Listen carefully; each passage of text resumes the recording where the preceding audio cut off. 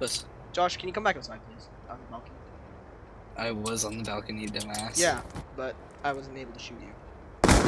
Thank you. Oh. I know why you fell. I'm flipping down.